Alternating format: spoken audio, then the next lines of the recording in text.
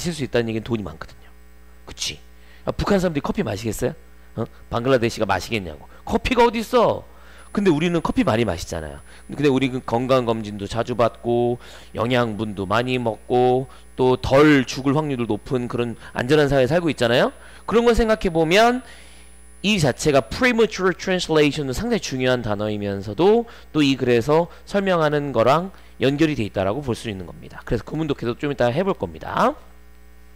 According to 뭐뭐에 따라서 according to는 이렇게 보라색으로 쓰는데 어, 잘못 썼네요. according to는 보라색으로 써서 뭐뭐에 따라서인데요. 그 다음에 위치를 보는 순간 관계대명사를 생각하게 되는데 이때는 관계대명사를 생각하지 않고 뒷문장이 완전하니까 어떠한의 의미를 갖고 있는 의문사로 쓰여지게 됩니다. 이쪽을 볼까요? 영어에서 위치를 관계대명사로 쓰여지는 경우도 있는 거고 의문사로 쓰이는 경우도 있는데 관계대명사로 쓸 때는 반드시 격과 선행사를 갖는 그 관계대명사로서의 자격을 검증해야 됩니다. 일단 격으로서는 주격이나 목적격을 쓰일 수 있는데 여기서는 주격도 아니고 목적격으로 쓰여지지도 않았어요. 선행사는 당연히 사물을 지칭하게 될 것인데 앞에 있는 명사들이 상당히 많긴 하지만 맥락상 주격이냐 목적격이냐 이런 부분에서 만족되지 않으므로 여기서는 관계대명사라고 볼 수가 없게 됩니다. 그러면 관계대명사가 아닌 의문사로서는 어떻게 해석이 될 것인가? 해석으로 어떠한이라는 의미를 갖고 있는 의문사 내지는 관계효용사로 볼 수도 있는데요. 여기서는 의문사로 쓰여졌기 때문에 해석이 가능하죠. 관계대명사일 때는 위치는 해석이 되지 않습니다.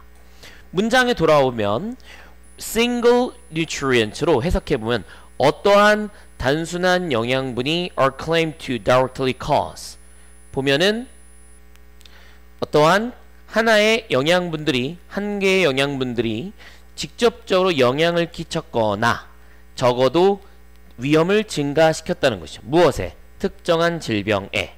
그래서 이 녀석의 문장은 동사 be claimed to 이 녀석이 다 끝나지 않았고 투부정사 cause하고 increase까지 함께 병렬로 연결시킨 거예요. 그러면 cause의 목적어가 있느냐? increase의 목적어인 particular diseases 즉 제가 노란색으로 체크하게 될 이 단어를 동시에 목적어로 받고 병렬 구조 5월로 연결했다고 볼 수 있는 것입니다. 그렇기 때문에 이 문장의 위치가 마치 불완전한 문장처럼 보여서 문법으로 낼 수도 있는 여지가 있고요. 특히 저 녀석의 위치를 what이나 where로 바꿔서 우리를 헷갈리게 할 수도 있습니다. 그런데 뭐뭐에 따라서란 얘기니까 어떠한 단순한 한 가지의 영양분들이 직접적으로 특정 질병의 위험을 적어도 높였거나 혹은 그 특정한 질병을 야기했을 거라고 어떠한 것이 그렇게 주장을 하게 됐는지에 따라서 결정적이거나 혹은 인과관계를 변화시키게 되는 것에 또 문제를 수반하게 되는 것이다. 이렇게 해석이 된다는 것이죠. 자, 다 읽은 다음에 다시 한번 갈 거니까 이 문장은 여기까지만 보고 문제를 향해서 좀 더 가겠습니다. Nutrition scientists 이런 영양 과학자들은 have also tended to exaggerate 또한 뭐하는 경향이 있다. 과장하는 경향이 있습니다. beneficial, 혜택, harmful, 아주 해로운 건강의 효과들인 것이죠. single nutrients들의 예를 들어서 the harmful effect of total fat, saturated fat, or dietary cholesterol 자 이제 유명하게 나쁜 거라고 알려져 있는 녀석들입니다. 그리고 또 유명하게 좋은 거라고 알려져 있는 것들이죠. 나쁜 효과인데요. total fat 완전한 지방이죠. 완전 지방 덩이들 saturated fat 포화 지방. 우리 그 패스트푸드 음식에 많다라고 알려진 그런 음악. 그 다음에 dietary cholesterol. 그런 우리가 밥을 먹을 때 먹는 콜레스테롤 이런 것들의 나쁜 효과들. 그리고 또 polyunsaturated fat. 다가 불포화 지방이나 오메가3나 혹은 비타민 D가 갖고 있는 혜택들.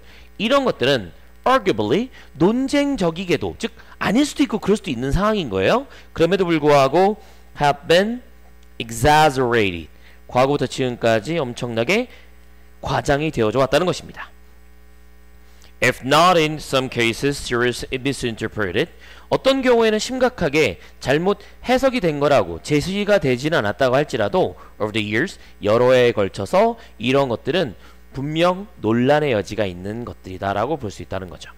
즉 saturated fat 우리가 알고 있는 그 포화 지방이 우리 햄버거 같은 거 우리 패스트푸드 안에 많다고 합니다. 그래서 저거 먹으면 안 좋아요 얘기하는 거죠. 근데 실제로 그것만 먹는 게 아니라 그 옆에 음료수도 있고 그 옆에 빵도 있고 그 다음에 또 뭐 양상치도 있고 토마토도 있는 거잖아요. 다 먹으면 오히려 좋을 수도 있는 겁니다. 근데 그 중에 많은 것들이 여기 있다고 해서 자 그래서 내용을 잘 이해하셨길 바라고요. 또 오메가3라든지 이런 것들도 무조건 좋다고 하는데 논쟁의 여지가 있어서 아닌 경우도 있었고 그런 경우도 있었다 이렇게 전체 맥락을 보시면 되겠습니다.